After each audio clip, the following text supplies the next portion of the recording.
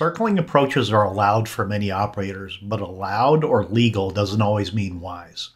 These visual maneuvers demand precise control at low altitude, often in marginal conditions in unfamiliar environments. They're unforgiving when rushed and can deteriorate quickly if flown without discipline. In this session, we'll look at two fatal examples, review the current FAA guidance and UPRT insights, and close with a direct look at why stall and upset prevention, not recovery, may be your only defense when things go wrong in a circling maneuver. First, on May 15, 2017, in Teterboro, New Jersey, a Learjet 35A operating under Part 135 attempted a circling approach to runway 1 following an RNAV GPS approach to runway 6. The crew failed to brief the approach, deviated from SOPs, and descended below MDA without reliable visual cues. During the turn toward the runway, the aircraft stalled and impacted a commercial building. Both pilots were killed. The NTSB concluded the pilot in command's attempt to salvage an unstabilized visual approach resulted in an aerodynamic stall at low altitude. Second, on July 26, 2021, in Truckee, California, a Challenger 605 operating under Part 91 was cleared for the RNAV approach to runway 20, but elected to circle to runway 11. No circling briefing was conducted. During the circling maneuver, airspeed control broke down, flap settings were non standard, and spoilers were deployed.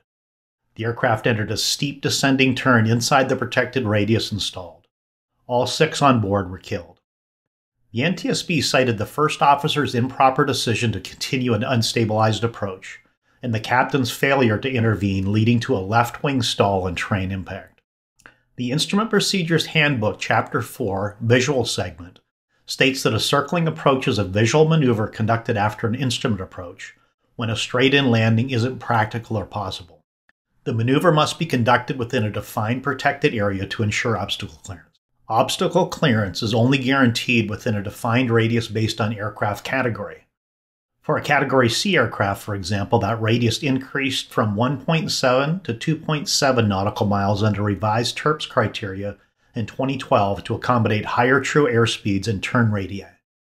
Descent below MDA isn't authorized until the aircraft is in a position to make a normal descent to landing according to both the Instrument Procedures Handbook, Chapter 4, and the Aeronautical Information Manual, the AIM, Chapter 5.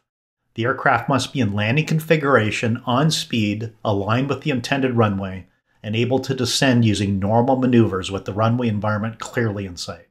Attempting a steep, rushed, or misaligned base to final turn erodes or eliminates the very margins these procedures are designed to protect. The decision to circle must be deliberate, not assumed. If wind, terrain, runway alignment, or pilot readiness raise any doubts, a straight in approach or a diversion is the safer option. Even experienced pilots have misjudged this maneuver fatally, as we just discussed. From an upset prevention recovery training or stall prevention recovery training standpoint, escalation often follows a predictable pattern.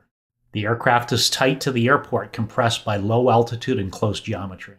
To keep the runway in sight and remain within protected airspace, the crew elects to continue. Approaching the base leg, the standard 30 degree bank turn is not getting them on course. In response, the pilot adds inside rudder with the opposite aileron and aft elevator to stop the overbank and nose drop. The result? A skidding cross controlled turn. Often, the overshoot of final approach continues. The recent illusion of tightening the turn from the inside rudder prompts more rudder, more elevator, further degrading margins and energy. The slip skid indicator shows the ball hard to the outside of the turn, the high wing. The aircraft is deeply uncoordinated and energy depleted and depleting. This moment may be the last opportunity for the crew and passengers to survive. Enter stall upset prevention. Get off the rudder, neutralize the controls back to coordinated flight, and initiate a go around, which gets harder and harder as this approach continues. If instead the crew decides to continue, the aircraft departs in a skidded turn stall rolling sharply toward the inverted. Now, at typical circling altitudes at this point, there is often insufficient time or altitude left to recover, even with immediate expert correct inputs. This is the classic cross control skidded turn stall, a killer that plagues every part of fixed wing aviation. Power stabilized skid increases stall speed, rapidly drains kinetic energy, and typically generates a powerful roll moment towards inverted flight, even in jets. Conversely, while not necessarily the topic of this particular situation, the slip, on the other hand, a valid and effective flight condition in a diversity of conditions, are generally stall spin resistant and tend to roll upright at the stall. Skids, not so much. In fact, not at all. Typically right to inverted with little warning, especially when the pilot is visually fixated on the runway trying to make it work. It just doesn't.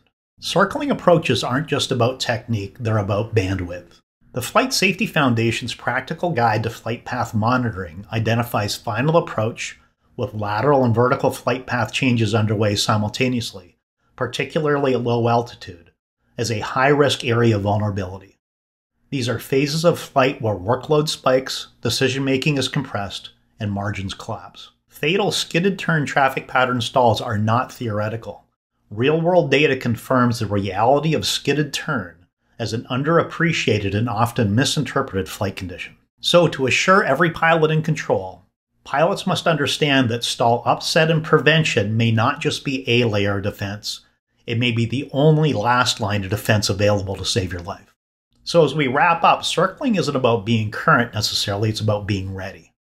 The maneuver is unforgiving, and sometimes the best decision is made at the top of descent by choosing not to circle at all. Be sure you brief, and brief with intent. Think threat forward. What makes this approach riskier? And what countermeasures will we execute if those risks manifest themselves? Every approach begins with a decision. Make that decision deliberate. Know the margins. Stay clear of the aerodynamic edges through disciplined judgment. And if the aircraft ends up there, or someone puts you there, an early go around decision must already be part of the plan. Because staying alive isn't luck, it's leadership. And you got this.